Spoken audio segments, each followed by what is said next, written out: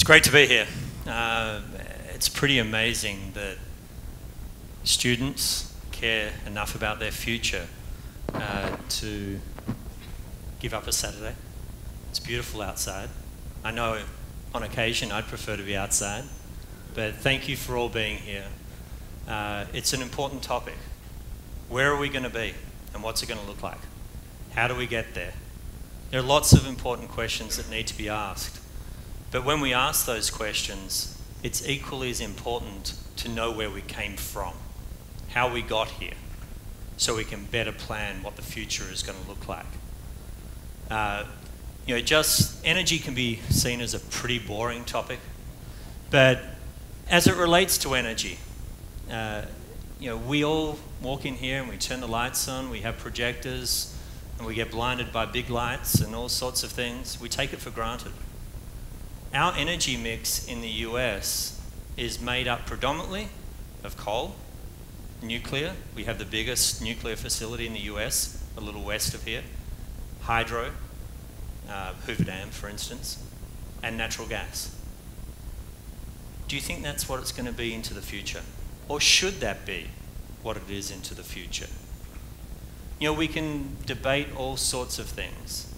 Um, and a lot of the time, we go about it for green reasons, for doing the right thing, as opposed to potentially, uh, you know, what makes the most sense for uh, what the future of the US needs to look like. Uh, if this, thank you. Uh, now, we, as I mentioned a moment ago, the infrastructure here in the US is made up of coal. 40% of our power is generated from coal. Some interesting statistics. They're not meant to scare you, they're just meant to set a stage. Where are we going to go? 75% of our coal fired facilities in the United States today are either at or beyond their useful life. They're licensed for a certain period of time. Most of them have already passed that. So 30% of the electrons running around in the United States have been generated by resources that are pretty old. And of those, another 10% are actually being turned off in the next two years. So by the end of next year, we're going to lose 4% of our power. What's going to replace it? So it's no longer a conversation of is it green? Does it have to be sustainable? Are we doing it for all these wonderful reasons? No, we're doing it because we have to. We have to plan for the future. We're given an opportunity today where we can talk about the future. As I mentioned a moment ago, we've got a pretty large nuclear facility just west of us. I mentioned 75% of coal facilities are either at or beyond their useful life. What do you think the number is for nuclear? Hazard to guess? Anybody? 100% of nuclear facilities in the United States were permitted to last 30 to 40 years. Palo Verde was built 30 to 40 years ago, and that was the most recent one. So I'm not giving you these numbers again to alarm you, but as much to point out we've got 60%, because nuclear is 20% of the power in the US, 60% of the power is going to turn off soon. Where are we going to get it from? Are we just going to continue to relicense these things and extend them forever? Probably not the best idea. I'm not saying these sorts of things are going to happen, but we saw what happened in the Gulf, gas explosions in the Northwest, uh, all sorts of things that are a little alarming. Nuclear facilities, Japan. Uh, you know, we have to be aware of what the future is going to look like. Uh, Chernobyl, a little bit before your time, but I'm aging myself. I think I was around at that time. Uh, hundreds and hundreds of people died as a result of that uh, explosion and meltdown. And I'm not saying we don't look at those as viable technologies into the future, but they need to be part of a broader mix. They need, you know, we are blessed, as I mentioned earlier, we, we have reliable, we have cost competitive power in the US. We can't trade that. Otherwise, we're not going to be competitive with our neighbours, with other international players. So, whatever the future looks like, it still has to be cheap, still has to be reliable, and hopefully, it has to be green, or at least a good portion of it has to be green. and when we talk about green, we're not just talking about no pollution.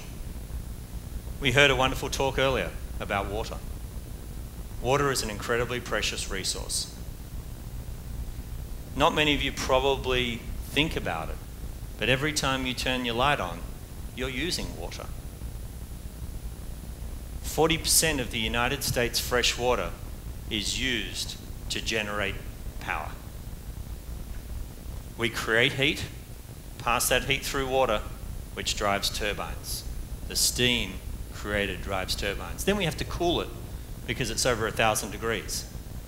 So we use a lot of water in what we do. We need to rethink the way we do things. Water, as much as pollution, should be high in our minds when we're looking at what we need to do and how we need to plan for it. What's the future going to look like? If I knew, I probably wouldn't be standing here. Uh, I'd be in Vegas, I'd be gambling, you know, whatever the case is. If we had a crystal ball, it'd be great. But at the end of the day, in order for us to maintain the quality of life that we take for granted here, we need to have cost competitive or cheap, affordable, reliable power that is fed to everybody. Everybody walks in and turns their lights on and assumes they're going to turn on. We can't change that. That has to remain, that has to be a constant. But there are technologies out there that provide the comfort and the security we need to be able to live the lives we've become accustomed. What's it going to look like in the future? Is there going to be nuclear? Yes. Is there going to be coal? Yes, but not as much as today. Is there going to be natural gas? A lot more than there is today. It's a lot cleaner burning than other technologies. We are also going to have, though, we're going to have solar, we're going to have wind, we're going to continue to have hydro, and we're going to have solar towers. Some of you may be thinking, what on earth is a solar tower? This is, we have a large tower with a greenhouse around it. Solar energy beats down on the greenhouse. Think of that as plastic or glass. It heats the air beneath it, hot air rises, flows in towards the middle, and up and out the tower. If any of you have ever lit a fire in a fireplace, you know hot air rises. This technology relies on that. If hot air stops rising, okay, we don't generate any power, but we're all stuffed. We float away and, you know, we might as well not be here anymore because we won't be. But this technology generates 200 megawatts of power. What does that mean? Enough for 150,000 households? Pretty significant amount of power. We could build one of these things in the desert, which is going to happen, and feed power into the grid so you can continue to live the lives you take for granted. And when I say take for granted, I don't mean that in a negative way. We're fortunate.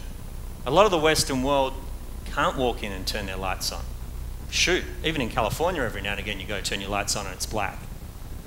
But we have something that's precious here, and we have to maintain that. And again, the technology is pretty simple. Hot air rises. You flow that air through turbines which turns a generator and creates electricity. It's something that's pretty sustainable. No water, no pollution, no greenhouse gases, no fossil fuel. It's a great thing. And it's not just a cool idea. It's been built, it's been proven, it's been operated. And guess what? One of them's coming here very soon. We're building one out on the Colorado River, just about 25 miles east of the Colorado, on the way to California. And this technology can actually be a great alternative and replace a good portion of fossil fuel, coal, coal, gas, etc., in our mix today, because it actually generates the type of power that's needed. And when I say that, you know, it is uh, cost competitive in that it produces power in a manner that, again, we like to see. So I know you're going to go home and you're going to speak to your parents if they're not here And you're going to say, You heard about a revolutionary, game changing energy project. It's green too, Dad, Mum, whoever it is. And their first question is, Yeah, but how much does it cost? And you'll be able to turn around and say, No more than we currently pay today, and actually less over time. This thing's cheap, it's reliable, it operates 24 hours a day. How does solar operate 24 hours a day? The ground absorbs heat, radiates that heat, and heats the air.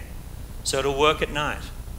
So it's incredibly reliable. As I said, it's cheap. Importantly, it's environmentally sound. It's about time we become good stewards of the earth. We talk about environmentalists and conservationists and all those things. At the end of the day, it's only about using what we have in an efficient and sustainable manner. Remove the negativity associated with being an environmentalist or you know all those things that people throw rocks at. At the end of the day, all we're doing is taking what we were given and treating it as we would want to be treated. Yeah, it's a pretty amazing thing. And we've got to actually stop and pay attention moving forward what it's going to look like. So we need to start planning today for tomorrow. These facilities, as I mentioned, coal and nuclear, are about 30 to 40 year life. This has a 75 plus year life. It's going to operate, it's going to be out there, it's going to provide cheap, reliable, green power for all of us. Thank you, TEDx, Phoenix. Thank you all for being here. It's been great.